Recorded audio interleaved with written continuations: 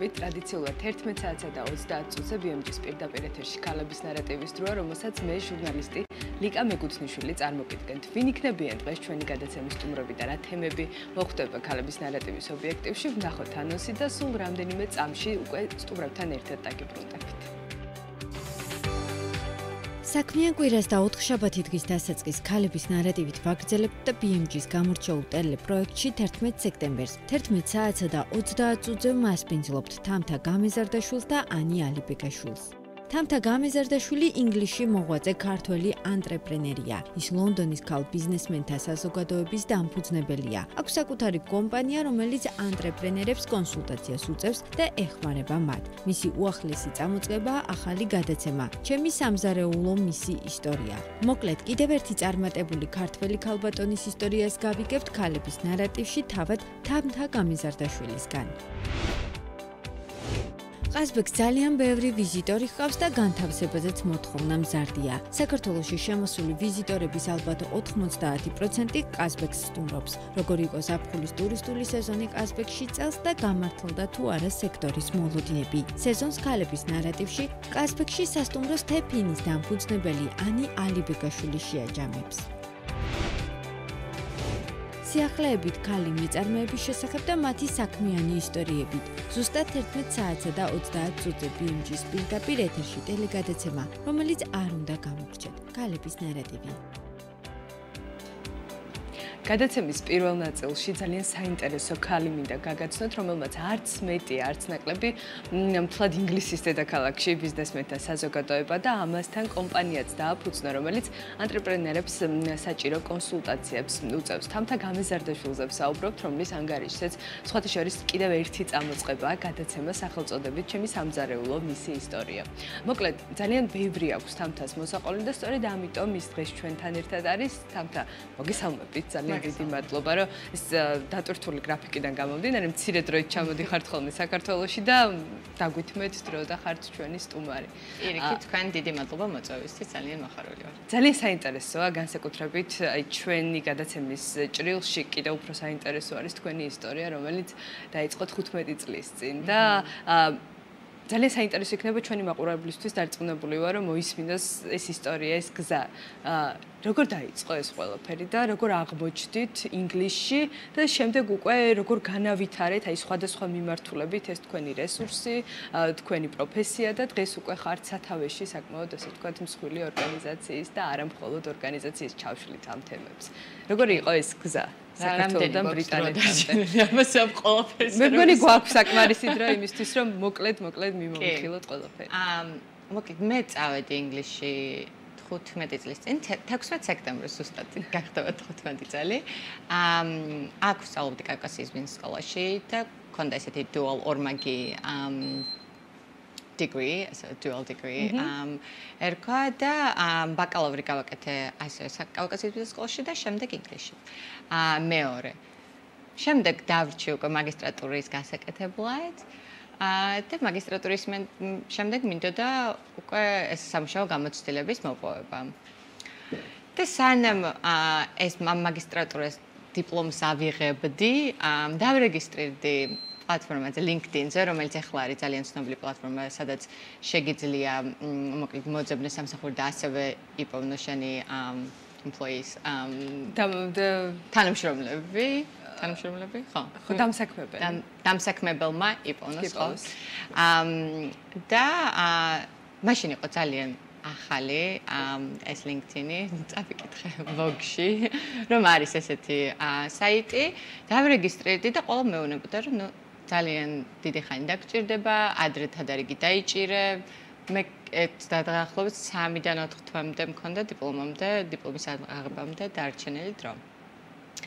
და მოკლედ თადარიგი დაიჭირე ადრე დარეგისტრირდი და დავრეგისტრირდი და ნუ რა რა უნდა დამეწერა ჩემი უნივერსიტეტები და რომ ენას ფლობდი ენებს ხო აა და всё მეტი არაფერი და დილით 8 საათზე მირეკავს ტელეფონი და მირეკავს ეს რეკრუტერი ნუ ვინც მოკლედ ეძებდა ამ ადამიანს ამ კომპანიისთვის მირეკავს რა თუ ამ გინდა რომ ტექნოლოგიების ინდუსტრიაში იმუშაო. და ნუ ეს კიდოდათ მაშინ. წარმოგედგინეთ თქვენ საერთოდ აზე არ ვიყავი რა ნუ ანუ რა რას შეიცავდა ამ ტექნოლოგიების ინდუსტრიაში?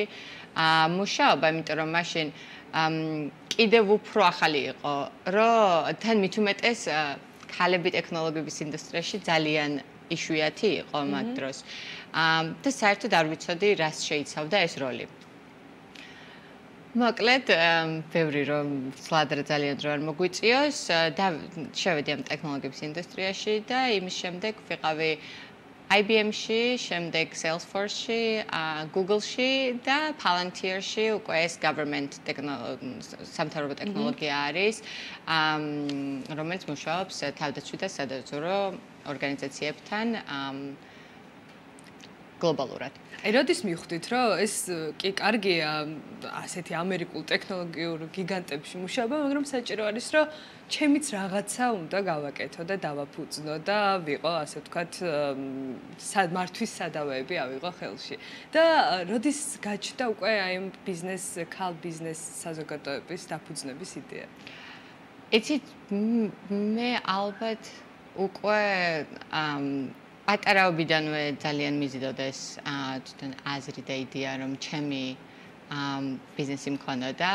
მამა ყოველთვის მეუბნებოდა ხოლმე რომ აბა როდის დაიწყებ შენს? ეს რა გინდა რომ გამოხვიდე და რა გინდა რომ შენ როგორი აა წვლილი შეგინდა რომ შეიტანო ამ ამ ყველაფერში ამ ბიზნეს სამყაროში. და სულ მეშინოდა ხოლმე რომ ვერასდროს ვერ ვიპოვნიდი იმას, რაც აი ნამდვილად მჯეროდა და მწამდა და ესეთი passion მქონდა, ხო, ესეთი ნება. ხო, რომ დამიარსებინა რაღაცა კონკრეტული ჩემი. აა მაგრამ ერთ დღეს ძალიან დიდი პროექტის შემდეგ გლობალური ძალიან სკანდალური პროექტი არის, რომელსაც ესე ღიად ვერ ვისაუბრებთ, მაგრამ ჩემი გუნდი იყო აა ამაში ჩართული, ეს რო დავასრულეთ, ამ დღით რო გავიყვიდე, თქვი რომ всё მორჩა. იმიტომ რომ მე თუ ვერ არ წამოვიდოდი, ვთქვათ, უკვე 10 10 წლეული გამოცდილება მქონდა ამ ტექნოლოგიების ინდუსტრიაში და ამ აქედან რომ არ წამოვსულიყავი, თან იქ და თან მე ფიქრა რისი ჩამოყალიბება მინდოდა და ვერ ხდებოდა ესე. ამიტომ ესე უნდა გადამეწყოთ, რომ ესე წამოვედი. აჰა. cold turkey. და აა მორჩა ანუ სხვა გზა არ არის, უნდა დაფიქრდე და იფიქრო და მართლა დავფიქრდე თუ რა რა რა რა არის ის რაც მე მიყვარს და არ იქნება ეს მხოლოდ სამსახური ჩემთვის. კი ბატონო, დღეს უკვე რას მოიცავს, რა კონცეფციით მუშაობს, რას გულისხმობს, რა შინაარსის მეტარებელი არის ეს ასოციაცია და ვინ ერთიანდება მის რიგებში? ეხლა ნახეთ, არის სამი სხვადასხვა კომპანია, რომელსაც რომელთაც სათავეში ვდგარ ამჟამად. პირველი არის Unorthodox Venture, ეს იყო პირველი კომპანია, რომელიც ჩამოვაყალიბე ტექნოლოგიებიდან წამოსვლის შემდეგ. ჩვენ ინვესტიციას ვაკეთებთ venture capital ფონდებში. აა ძირითადად აა დღემდე სადაც ჩვენ დაგვიბანდებია ფული, ეს არის ყველა ქალთა მიერ ჩამოყალიბებული ფონდები. აა და ძალიან გვეხარია, რომ ბევრი ესეთი ფონდები არის უკვე ბაზარზე. აა ჩვენ ასევე გვაქვს საკონსულტაციო arm um დეპარტამენტი, აა სადაც ვეხმარებით venture capital-ებს და private equity, კერძო equity ფონდებს, აა ასევე კაპიტალის მოძიებაში. აა და ამ ყველაფერს ამ კომპანიას რომ ვაყალიბებდი ძალიან შემთხვევით დაიწყო ის ამ საზოგადო ქალთა საზოგადოების ჩამოყალიბება და ზრდა. აა ეს ისე კი თქვენი კლიენტები შემდეგ უკვე გახდნენ არც კი. მეგობრები ანუ ორგანიზები ვუწევდი ვახშამს სადაც სამი ჩემი გოგონა მეგობარი ასევე ინვესტორი მოდიოდა და უნდა ყოფილიყავით ოთხნი და ბოლოს მოხდა ისე რომ ვიყავი 15 გოგო. და ძალიან კარგად მახსოვს ამ ვახშამზე რომ ვისხედით. ერთ-ერთი სხვა მაგიდა იყო ამ რესტორანში 4 ბიჭი. ამ იჯდა და ერთ-ერთი მოვიდა ამ საღამოს ბოლოს ცოტა შეზარხოშებული. შეზარხოშებული.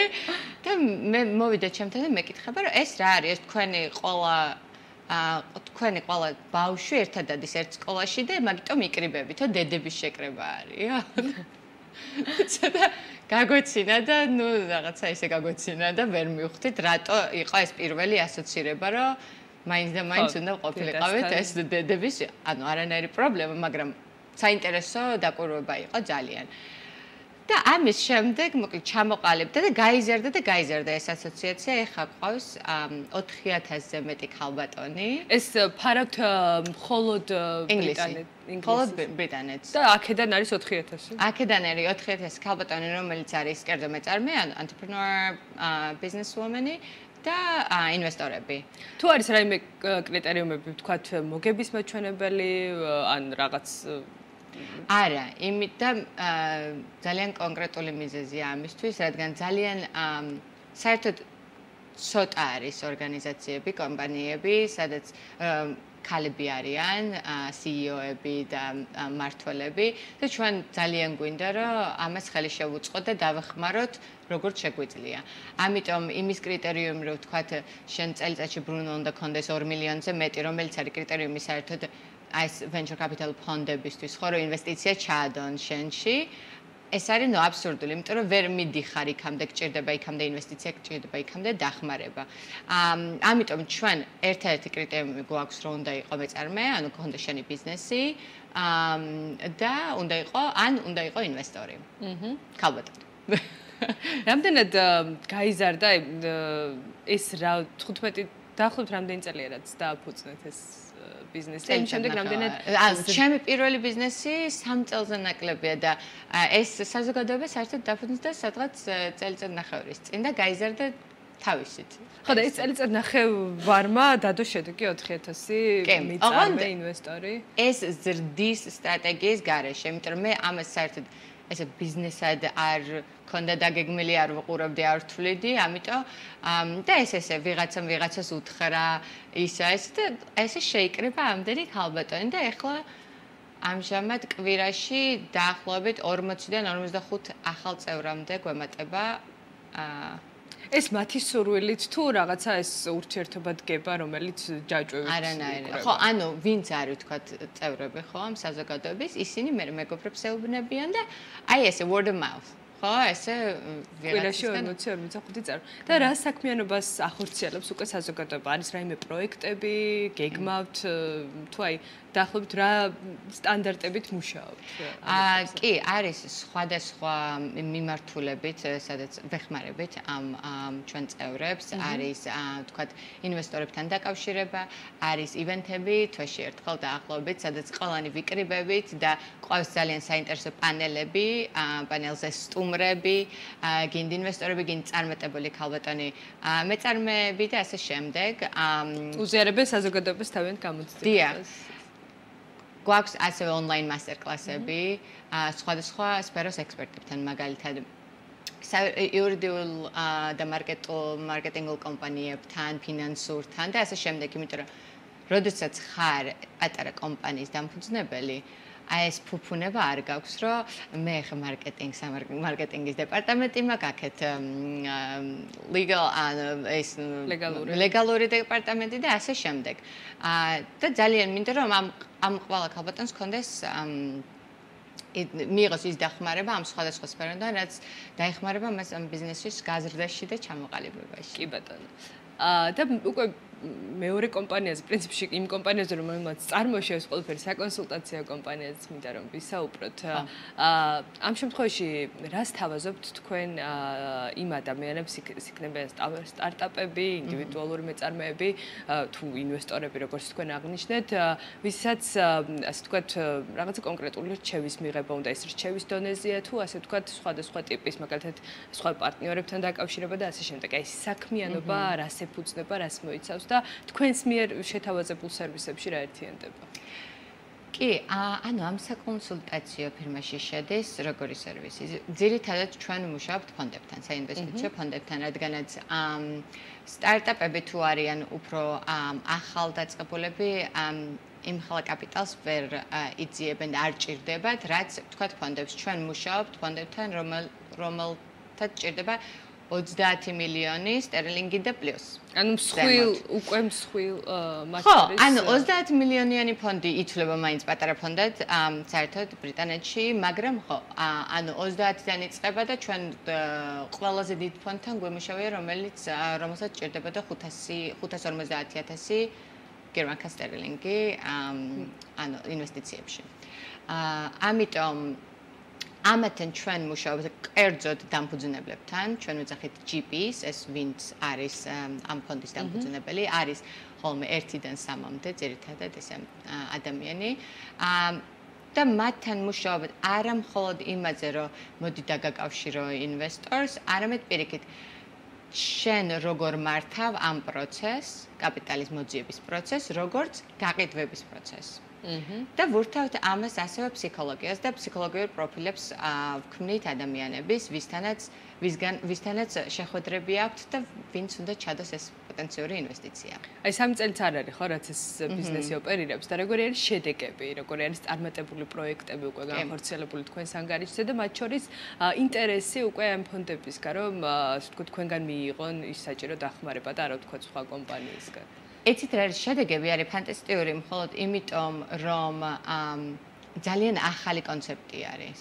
ეს რომ შერწყმა მოხდეს გაყიდვების და ფსიქოლოგიის და საერთოდ არავის არ მოძდიოდა თავში. აზრად რომ ელემენტარული CRM სისტემა კონდეს სადაც შენ შეგიძლია ჩამოთვალო და ჩამოთვალო ყველა ინვესტორი ვისთანაც გინდა საუბარი. ა როგორ ესაუბრე, რამდენი შეხვედრა ქონდა, რა გამოვიდა ამ შეხვედრიდან, რა გინდა შენ ამ შეხვედრიდან რომ მიიღო? და ასე შემდეგ. ანუ სტრატეგიულად რომ დაგეგმო, ვინ გინდა, რატო გინდა და როგორ მოიგებ, მოკლედ ამ მოლაპარაკებას, ხო? თვითონ კომპანიის მონეტიზაციასაც რომ შევეხოთ, რამდენად შედგა როგორც ბიზნესი და რამდენად მათ შორის ძვირადღირებული სერვისები არის ეს, რასაც თქვენ აწოდებთ ამ ფონდებს? კი, ანუ ძვირადღირებული, როგორ გითხრათ ახლა, არის, მაგრამ ჩვენ გვაქვს ესეთი hybrid კომერციული შეთავაზება. ჩვენ ვიღებთ პროცენტს ფონდისგან, ფონდის მოგებისგან, რომელიც არის უფრო ესეთი გრძელვადიანი შემოსავალი, ხო? 5-დან 10 წლამდე. ა გჭირდება გაჩნია ფონდი რამდენად უფრო პატარა კომპანიებში და ახალ კომპანიებში. ეს 10% არის, ეს არის წლიური ბრუნვის. ხო, ეს არის საერთოდ აი ბოლოს ანუ პირველ ხო სხვადასხვა ფონდებს ქმნი, ხო თქვა ქმნი, შექმნი შენი პირველი ფონდი არის 30 მილიონიანი. აა და ინვესტიციებს აკეთებ როგორც ფონდი pre-seed seed სტარტაპებში, ხო? pre-seed seed არის აი ეხლა ეხლა სათუთ ახალ ახალი შექმნილ კომპანიებში, ხო? აა და ამ კომპანია ეს კომპანიები ამ კომპანიებს რომ მქონდეთ უკვე შემოსავლები, ან წავიდნენ public და კერძოდ აღარ იყვნენ, ან გაიყიდოს ეს კომპანია, ამას ჭირდება წლები. აა და უკვე ამას ჭირდება სადღაც 5-დან 10 წლამდე. და თუ თქვა ჩვენ ესეთ კომპანიებთან ფონდებში ფონდებთან მუშაობ, ჭირდება ესეთი რომ თუ უკვე თქვა არის ფონდები რომელთან რომლებიც არიან ჩვენი კლიენტები, სადაც ისინი უფრო ზრდასროლ დიდ კომპანიებში აკეთებენ ინვესტიციებს, იქ შეიძლება ერთ წელიწადშიც ვნახოთ მოგება. ა ამიტომ გააჩნია და 5% არის ძალიან დიდი სხვათა შორის, როდესაც უკვე დიდ კაპიტალს ანუ ზირთად რაღაც 5-დან რამდენ პროცენტამდე შეიძლება რომ ჩაჯდეთ წელში? საერთოდ 5-მდე ხდება. 5-მდე? აა ყველაზე დიდი ქონდა ჩვენ 5, საერთოდ მარკეტ ბაზრის ნორმა არის 1-დან 3-მდე. აა მაგრამ ამ ეს არის ერთი ნაწილი კომერციული მოლაპარაკების და მეორე ნაწილი არის უკვე აა თვიური кэში. ახლა ზეცად რომელს რომელ მიმართულებით დგება საბოლოო კონსენსუსი? აა ორივე. ანუ ეს ორივე არის საჭირო, რადგან ჩვენ მხოლოდ მუშაობთ იმ ფონდებთან, ვისიც ძალიან გჯერა და ვისაც მე კერძოდ ვიცნობ, ვისი დაარსებულია, როგორ მართავენ და რა სტრატეგია აქვთ საინვესტიციო, იმიტომ რომ ეს არის ძალიან დიდი ჩვენი მხრიდანაც ინვესტიცია, დროის და რეპუტაციის. აა და ამიტომ ეს ყველაფერი ორივე ერთად უნდა იყოს შემოთავაზებაში. შვენიერი, ესე იგი, ბიზნესები ასე თუ ისე მოვიკითხეთ, თუ დარჩა კიდე რომელიმე ბიზნესი თქვენს ანგარიშზე. სადამ გადავალთ სხვა ნაწილზე, ესე იგი, ვისაუბრეთ ტექნოლოგიებზე, სტარტაპებზე, ვენჩურულ ფონდებზე და ასე შემდეგ და ასე შემდეგ და ეხა კიდე ერთი მიმართულება, რომელიც ცოტა ჩემი აზრით განსხვავებული არის თუ რამე აკავშირებს ამ ყველაფერთან, მაგრამ ток-шоу, ток-шоу არა და სატელევიზიო შოუ დაიწყეთ, ჩემი სამზარეულო მისი ისტორია. აი როგორ გაჩნდა საერთოდ აი ამ ყველაფრიდან, ამ ბექგრაუნდიდან გამომდინარე, უკვე სატელევიზიო მიმართულებით გადასვლის სურვილი და შოუც რას გულისხმობს? ეს გაეშვა უკვე მზადების პროცესშია თუ ასე ვთქვათ, რას ნახავს მაყურებელი მოკლედ? კი, ეს შოუ შოუ ჩამოყალიბდა გადაღება პირველი დავიწყოთ ზუსტად ერთი წლის წინ. სექტემბერში ამ შოუს იდეა წამოვიდა საერთოდ ამ საზოგადოებრივ საზოგადოებიდან შთაგონების წყარო იყო ეს საზოგადოება რადგანაც იმდენი საინტერესო იმდენ საერთოდ საინტერესო ქალბატონს ხვდებოდი ყოველდღიურად და დღემდე. და ძალიან ბევრმა არ იცის მის ისტორია ძალიან ბევრმა არ იცის რა გამოიარა რა სირთულეები იყო და ამ ამ ამ ისტორიების ცოდნით მე ძალიან მჯერა რომ ხვისი შთაგონების წყარო იქნებიან ეს ქალბატონები და ასევე ძალიან ბევრს სწავლობთ ყველანი მათგან. ამ და მინდოდა რომ ეს გლობალური საზოგადოება შემექმნა, არა მარტო ქალბატონების შოუში ქალბატონები ყავს მარტო, მაგრამ მამაკაცების და ძალიან ბევრი გულშემატკივარი ყავს ასევე მამაკაცი გლობალურად. როგორ შოუა რა რა კონცეფციით? აი გეტყვით. მე საერთოდ ტექნოლოგიებში რო ვიყავი ერთადერთი ან ალბათ ორიდან ერთი ქალი ქალი ვიყავი ბორდრუმში ხო ამ შეხვედრებზე ძირითადად და არასდროს არ იყო დედრობითი სქესი წარმოადგენი არცაც სულ კაცები იყვნენ და ძალიან დამაკლდა და ძალიან მინდოდა რომ აი ეს ყველაფერი მოკლედ ამაზე ზეგავლენა მოგვეხდინა თუ რამდენი ქალბატონი არის ბიზნესში ამ ეს შოუ ჩვენ შოუს ვიღებთ სამზარეულოში. აჰა და ქონდა რამოდენიმე კომენტარი ისეთი რომ უი ეს ამ წარმატებულ ქალბატონებს უკან სამზარეულოში აბრუნებ. და ძალიან საინტერესოა იცით ამ იმიტომ რომ რაღაც დღესდღეობით ესეთი კონცეფტია რომ ან ქალი უნდა იყოს სამზარეულოში ან ქალი უნდა აშენებდეს მილიონ დოლარიან თქვათ კომპანიას და მე ვფიქრობ, რომ ორივე შეიძლება გააკეთო, ან და რას რასაც მოისურვებ, ის უნდა გააკეთო, ხო? თქვა შენ თუ გინდა რომ იყოს სახში გაზარდო ოჯახი, შვილები, ეს არის ყველაზე დიდი სამსახური და ყველაზე რთული, მე ესე მგონია. ამ მაგრამ შენ თუ გინდა რომ ასევე კომპანია გქონდეს და იყოს წარმატებული მეწარმე, ვერ ხედავ არც ვერ ჩამაში პრობლემას და ეს მინდოდა რომ ეს ორი სხვადასხვა სხვადასხვა სამყარო ერთად ამ მოკლედ შემერწყა. რამდენი ეპიზოდი გავიდა უკვე და სად გადი სად ასე ვთქვათ ტრანსლირებს ეს ყველაფერი და როგორც ვიცი ამ ხრივაც გაქვთ გაფართოების ახალ ბაზრებზე გასვლის შესაძლებლობა ისიც მინდა რომ მოვუყვეთ ჩვენს მაყურებელს და ნელ-ნელა. კი, ანუ ჩვენ გადავიღეთ იდეა დამებადა აგვისტოში გადავიღეთ სექტემბერში, გავიდა ოქტომბერში. შოუ თავიდან ვიყავით პირველი სამი თვე ონლაინ, აა გვაქვს YouTube, გვაქვს um Instagram და TikTok-ი, uh My Kitchen, Her Story. Um და uh სამი თვის შემდეგ მე იქამდე ვიყავი Sky TV-ში, Business TV-ში, um uh ინტერვიუზე. გავიცანი პროდიუსერები, იმათ მე მოკლედ შეხედეს ეტყობ ამ შოუს, არ გულოპარაკ, არ გულსაუბრია საერთოდ ინვესტიციებზე ვსაუბრობდით ამ გადაცემაში. და ამერიკაში ძალიან მოგწონს შენი კონცეფტია. Um და ძალიან გვინდა რომ Sky-ზე გქონდესო. და ესე მოხდა Sky-სთან მოლაპარაკება. და ამჟამად აა ვესაუბრებით, მოლაპარაკება მიმდინარეობს ძალიან დიდ პლატფორმებთან, როგორც არის Netflix-ი და ამ შემდეგ. აა და იდეა არის რომ ეს შოუ გავიტანოთ გლობალურად და ჩავიდეთ ყველა ქვეყანაში რომ გავესაუბროთ ყველა მათ ქალბატონებს, მეწარმეებს, ინვესტორებს, გავამზადოთ მათი ლოკალური კერძი და ამ ამ შოუში არის ყავს ხალბატონები ვსაუბრობთ ბიზნესზე გვაცია ძალიან ლამაზი ლოკალური დიზაინერების ტანისამოსი. და ვამზადებთ მათ კერძებს, მათ საყვარელ კერძებს. ეს პლატფორმა შეგვიძლია ვთქვათ და დავასრულოთ ჩვენი დრო მოიწურა.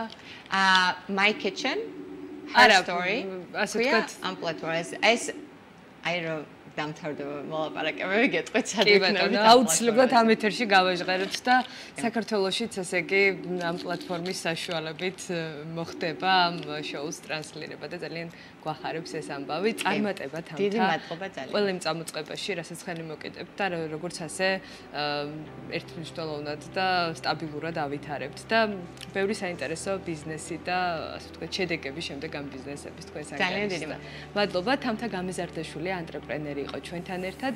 რეკლამაზე უნდა გავიდეთ და გადაცემის შემდეგ ნაწილში სტეფენის დამფუძნებელი ანი ანიბეგაშვილი იქნება ჩვენთან ერთად დაგვევოდეთ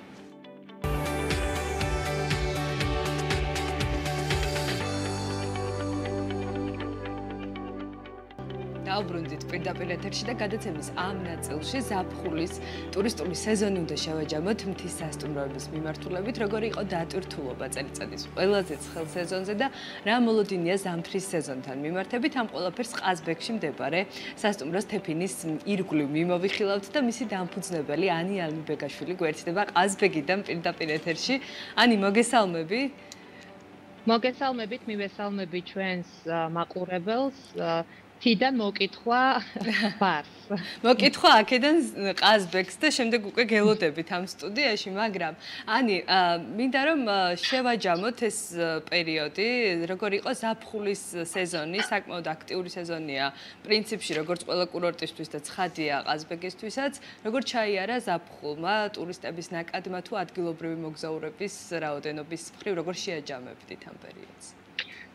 საფხულის სეზონი ძალიან აქტიური იყო, ბევრი ვიზიტორი ყავდა, როგორც წესი ყაზბეგს სტუმრობს იმ ვიზიტორების 90% მაინც რომელსაც დაგეგმილი აქვს საქართველოში მოგზაურობა და არ არიან კონკრეტულ ლოკაციის სანახავად ჩამოსულები, ამ ტიპის მოგზაურებში ყაზბეგი სარგებლობს ყველაზე დიდი პოპულარობით და რა თქმა უნდა სეზონმა აქტიურად ჩაიარა ყავდა ბევრი სტუმარი თითქმის სავსეები ვიყავით აპრილიდან მოყოლებული აგვისტოს ბოლომდე და ახლაც ტენდენცია მეტნაკლებად შენარჩუნებული არის. შემოდგომის დაწყებასთან ერთად არის მცირე ვარდნა თუმცა უკვე რაღაცა ამინდების ამინდებზეც მნიშვნელოვნად ვართ დამოკიდებულები და სექტემბრის უკვე როგორც ჩანს ჩაცმულობი და გამომდიდარი.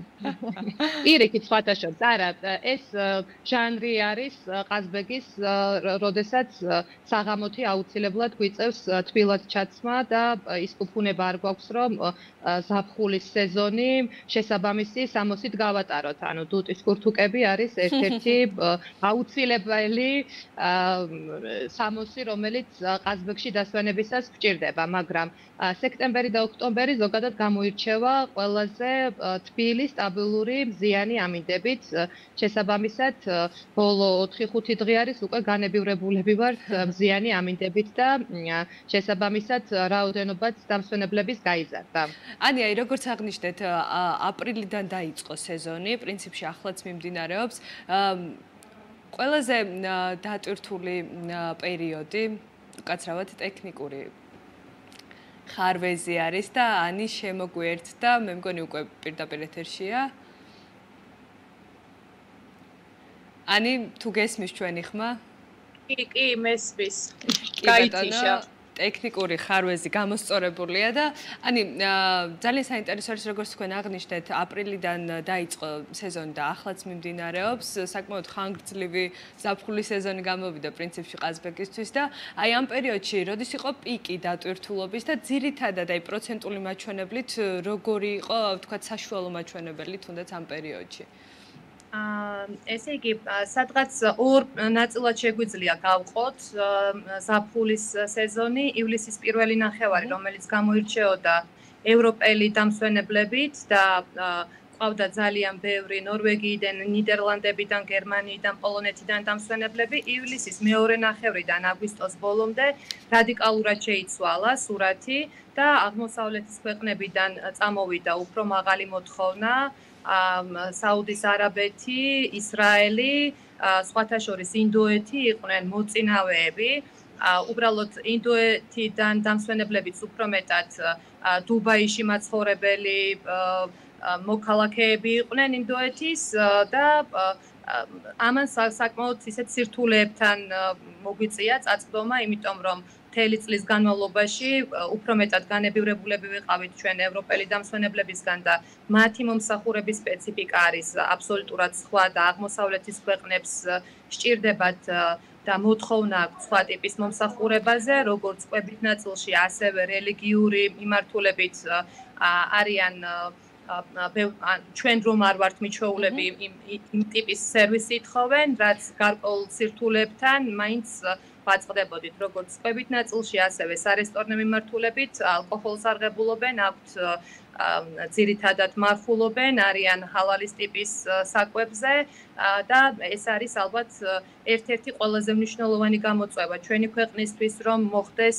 სწორად საქართველოს პოზიციონირება დარეკლამება მოხდეს სწორი იმიტომ რომ ძალიან საეჭვოა რომ რომელიმე ბიზნესმა შეძლოს სრულფასოვნად იმ სერვისის მიწოდება, რა ტიპის სერვისიც ამ ადამიანებს ჭირდებათ. აი, ძირითადი განსხვავება მაინც გარდა იმისა, რომ თქვათ ეს კულტურულ რელიგიური სხვადასხვაობა, რაში გამოიხატება აი თქვენთვის როგორც მასპინძლისთვის, როდესაც საუბრობთ ერთი მხრივ ევროპელ და მეორე მხრივ აღმოსავლელ დამსვენებელზე, ასე ვთქვათ და ინტერესი რომლისგან მოდის უფრო დიდი და ყაზბეგიც რომელი ტიპის დამსვენებელზე არის უფრო მორგებული?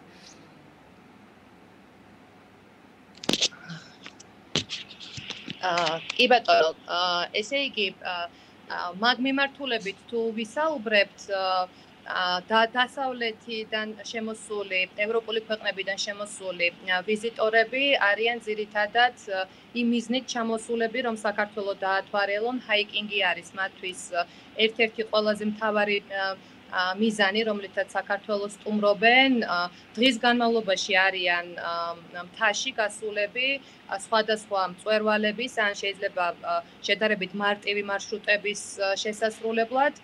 საღამოთი ბრუნდებიან სასტუმროში, მათ სჭირდებათ როგორც გიდის მომსახურება, ასევე ტაქსის მომსახურება, შესაბამისად ქვეყანაში დოვლათის შექმნას მნიშვნელოვან როლს თამაშობს ევროპელი დამსვენებელი. აა ხოლო აღმოსავლეთის ქვეყნებიდან ძირითადად სასტუმროში არიან, ნომრიდან არ გამოდიან, არც ღვინოსთან მიმართებაში, ალკოჰოლთან მიმართებაში, უფრო მეტად არიან ნომერში და ძალიან ცოტა დროს უთმობენ ადგილზე სანახაობებისთვის დროის დროს ფაქტობრივად არ თმობენ.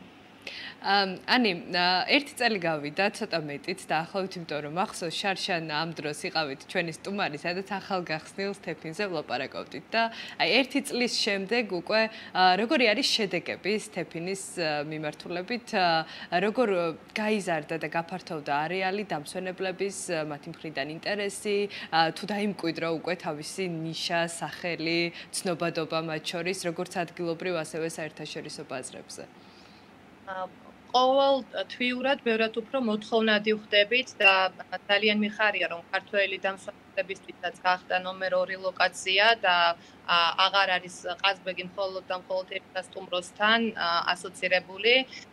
მაღალი არის ჩვენი მიმართულებით ინტერესი ამ წელიწადი და ორი თვის განმავლობაში დასახული მიზნები რაც გქონდა ეს მიზნები სრულად არის შესრულებული და კიდევ უფრო მეტი გამოწვევა გვაქვს ზამთრის პერიოდში ვცდილობთ რომ უფრო მეტად მოვერგოთ არსებულ მოთხოვნებს და სასტუმროს პოზიციონირება მოვახდინოთ როგორც მთის და ასევე სათხილამურო აქტივობასთან ახლოს მყოფ სასტუმროსთან გვექნება ტრანსფერი ადგილიდან გუდაურში კობის საბაგიროსთან გადაყვანით სადაც დამსვენებლები შეძლებენ სურვილის მიხედვით უდაურის ან ყაზბეგის ყობის ფერზე სრიალს ეს იქნება სასტუმრო სერვისებში ხო?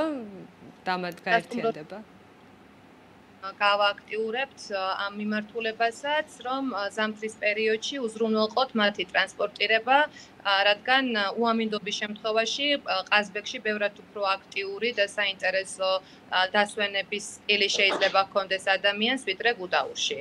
და ეს იქნება ერთ-ერთი ჩვენი მიზანი, რომ ზამთრის პერიოდში მოვიზიდოთ მოთხილამურეები და მათ შევთავაზოთ უკვე განსხვავებული სერვისი, რაც აქამდე არ ქონია, გვექნება ორჯერადი ან სამჯერადი ყვებით, ტრანსფერით და ცოტა სხვა ტიპის გართობით, რაც აქტიურ ღამის ცხოვრებასაც გულისხმობს. ამ ხრივ რა სიახლეები შეიძლება რომ დახვდეთ ძალიან საინტერესო არის, იმიტომ რომ მაინც იქამდე მივდივართ ხოლმე საბოლოოდ, რომ კი არის თქვა შეიძლება იყოს კომფორტული დასვენება, მაგრამ აი ეს გართობის ნაწილი ცოტა აკლიათ ხოლმე სასტუმროებს და ტურისტებიც პრინციპში აი ამაზეც საუბრობენ და ის შტრიხი ძალიან საინტერესო იქნება თქვენი მხრიდან რა შემატებთ, რომ ეს კომპონენტიც იყოს თქვენს სასტუმროში.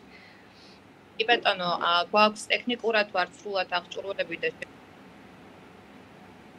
არსებობის შემთხვევაში ადგილზე ამ კარტობის თავაზება და შესაძლებელი სხვადასხვა აქტივობები თამაშების რაც თის აქტივობებს რაც უხდება კარაოკე და ასე შემდეგ ასევე გვეყოლება მოწვეული მომღერალი ზამთრის პერიოდში რომელიც ფონურად გაგვეხალისებს საღამოებს. შვენიერი, ესე იგი, რა ჯობია მყუდრო გარემოში ყაზბეგში ცივი ზამთრის გადატანას და პრინციპში თან თუ სათხილამურო მიმართულებასაც ავითვისებთ. ანი, ეს ყველაფერი, აი როგორც თქვენ ახსენეთ, ხო, ახალი სერვისები ემატება. რამდენად ხელს გიწყობთ ადგილობრივი ინფრასტრუქტურა, იმიტომ რომ ესეც არის ხოლმე გამოწვევა ყოველ შემთხვევაში ადგილობრივი ბიზნესები საუბრობთ ამ საკითხთან დაკავშირებით. თუ შეიცვალა რაიმე ამ მიმართულებით და თუ რჩება კვლავ დღის წესრიგში ერთ-ერთ მთავარ პრობლემად. იგივე გზები და ინფრასტრუქტურა. ინარეო მთელი საფულის განმავლობაში აქტიურად მიდიოდა ინფრასტრუქტურული სამუშაოები, რომელიც ბოლოში გასული და თარგმნილი საფრთხეები, რომ სეზონის ბოლომდე სანამ ამინდები არ გაფუჭდება, ეს სამუშაოები დასრულებული არ იქნება. ამ შემთხვევაში ისევ იგივე სირთულებს წავაწყდებით, რაც მთელი ზამთრის განმავლობაში გქონდა მიმდინარე წელს. წყლის გაყინვა, რომელიც ცენტრალური მილებიდან ვეღარ ხდება ხოლმე წყლის მოწოდება. ეს არის ყველაზე მნიშვნელოვანი პრობლემა და უამინდობაში უშუქობა, რომელიც დიდი ხანი არ გრძელდება, თუმცა შეიძლება სასტუმროსთვის ჩვენთვის ტექნიკურად აღჭურვილები ვართ და ეს პრობლემას არ წარმოადგენს, მაგრამ რეგიონისთვის მნიშვნელოვანი შეფერხება არის, რადგან ყველა ტიპის გათბობა არის ცენტრალური და ელექტროენერგიის მოწოდება საჭიროებს. ამ კომპონენტის გარეშე უბრალოდ 1 საათში და 2 საათში ყველა ობიექტი იყინება და შარშან გქონდა ამ ტიპის გამოცდილება, რომ ხალხი გასათბობად მოდიოდა სასტუმროში, რომ ფიზიკურად, როდესაც 12 და 14 საათის განმავლობაში დენი არ მიეწოდება, ამასაც აქვს თავისი მიზეზები, რომ დიდთოვლიანობის დროს ცენტრალური დაზიანება ხდება და უბრალოდ ფიზიკურად დიდ დროს საჭიროებს, თუნდაც ის, რომ შეიძლება გზა იყოს ჩაკეტილი დიდთოვლობის გამო და ტექნიკა ან შესაბამისი ინჟინრები ვერ ახერხებდნენ რეგიონში გადმოსვლას. იმედი გვაქვს რომ მოესწრება ახლო პერიოდში და ეს სამუშაოები დასრულდება და შემდეგ უკვე ტექნიკურად იმდენად სწორად იქნება გაკეთებული რომ პრობლემებს აღარ წავაწყდებით. კი ბატონო. აა და ხო აი თქვენც აღნიშნეთ რომ ტურისტების ნაკადი არის ძალიან გაზრდილი თუნდაც ამერწლიან პერიოდში კონკრეტულად სეზონზეც და ზოგადად და ეს სტატისტიკასაც რომ გადავხედოთ საქართველოს ჩამოსული ვიზიტორების 80%-ზე მეტი ყოველთვის აი რა ხანგრძლივობითაც არ უნდა ჩამოდიოდეს ყაზბეგს მაინც აუცილებლად სტუმრობს. აი ამ ყველაფრის ფონზე დატვირთულობა არის ინტერესი არის როგორ ფიქრობთ? რამდენად საკმარისი არის რამდენად ათვისებული არის აი ამ მიმართულებით სრულად ის პოტენციალი რაც აქვს თუნდაც რეგიონს რომ გავიდეს საერთაშორისო ბაზარზე და რამდენად არის კიდევ თუ ფიქრობთ რომ არის კიდევ ბევრი სამუშაო ამ მიმართულებით რომ კიდევ და კიდევ მეტი ბაზრები არის აქ დასაინტერესებელი ასე ვთქვათ ამ რეგიონით. რა პოტენციალი აქვს და რას ვითვისებთ? რა თქმა უნდა ბევრად დიდი პოტენციალია აზბეკს და ახლა ხდება ამ ხდება არ გვაქვს ინფორმაცია კონკრეტული უბრალოდ დაკვირვებით და ერთმანეთს დასტურებით და ამ ინფორმაციას ვახდებით სტატისტიკის შედგენას ძალიან სწორი იქნება მოგვეწოდება ინფორმაცია და გვექნება სწორი მოლოდინები რამდენი პროცენტით იზრდება ეს ნაკატები და ინტერესი რეგიონთან მიმართებაში რომ შევძლოთ სწორად შემდგომ პერიოდში გაფართოვება იქნება ეს თუ ახალი ტიპის სერვისების დანერგვა ყველაფერზე მუშაობა დატვირთულობა არის აზბეგი ახლა ამ ეტაპზე ორი ტიპის სერვის, სამი ტიპის სერვის თავაზობს იდეაში მომხმარებელს. ერთი არის სასტუმროს მიმართულება, კოტეჯები და გესტჰაუსები. ყველას ყავს თავისი სეგმენტი და ყველა ობიექტი არის სავსე სეზონის განმავლობაში. თუმცა ერთის მხრივ სწორად განვითარება რო შემწყვოთ, კარგი იქნება სრულფასოვანი ინფორმაციის თქონა. და ამასთან ერთად ჩართულობა და დახმარება სამუშაო ძალასთან მიმართებაში, იმიტომ რომ ეს ისევ ერთ-ერთი ყველაზე დიდი გამოწვევა რჩება. ყოველთვის გვაქვს ღია ვაკანსია, თავაზობ კარგ სამუშაო პირობებს, საცხოვრებელს, ანაზღაურებას, მაგრამ არ ხდება ქართველი დასასაქმებლები მხრიდან სათანადო ინტერესის გამოჩენა, ან ინტერესის გამოჩენა თუ ხდება არაპროფესიონალის სვაწყდებით, ხშირ შემთხვევაში ბევრ რამეზე თვალის დახუჭვაც გვიწევს და მზად ვართ რომ ჩვენ ავასწავლოთ, შევასწავლოთ და ერთობლივი ძალებით შევხოთ სათანადო სერვისის გაწევა, თუმცა საჭირო არის პროფესიული გადასამზადებელი ცენტრები, საჭირო არის ბევრად უფრო მეტი მუშაობა და თუ საჭირო არის უცხოეთიდანაც სამუშაო ძალის ჩამოყვანა, იმიტომ რომ წარმოუდგენლად ბევრი შრომის გაწევა გვიწევს ადამიანებს, რომლებიც ამ სფეროში ვართ ჩართულები და სტაბილური თანამშრომლები ვინც ყავს და ძალიან კარგი გუნდით ვარ წარმოდგენილები ეს ადამიანები იმდენად კეთილსინდისიერად და ისეთი გულისხმევით ასრულებენ თავიანთ საქმეს, რომ მადლობის მეტი არაფერი მეტყვის, თუმცა მზად ვარ, რომ ადამიანები დავიმატოთ ასეთების არსებობის შემთხვევაში, თორად მოხდეს ატვირთების გადანაწილება. ძალიან დიდი მადლობა ანი ასეთი საინტერესო მიმოხილვისთვის და ანალიზისთვის. ამწუხაროდ ჩვენი დრო ახლა ამოიწურა თუმცა აუცილებლად გვექნება კიდევ შესაძლებლობა რომ უკვე ზამთრის სეზონი ეს ძალიან ბევრი პროექტი რაც ახლა დაანონსეთ როგორ განხორციელდება და როგორი იქნება უკვე თქვენ შემთხვევაში სტეფინის შემთხვევაში დატვირთულობა უკვე შემდეგ ამ სეზონსაც აუცილებლად შევაჯამებთ თქვენთან ერთად. დიდი მადლობა. ვუტებით ყოველას სტეპინში რომ გაგაცნოთ ქართველები და საქართველოს ძალიან ინტერესო და ლამაზი. აუცილებლად ანი ალიბეგაშვილი სტეფინის დამფუძნებელი იყო ჩვენთან ერთად ასეთი იყო 11 სექტემბრის ქალების ნარატივი მე ხვალამდე გემშვიდობებით.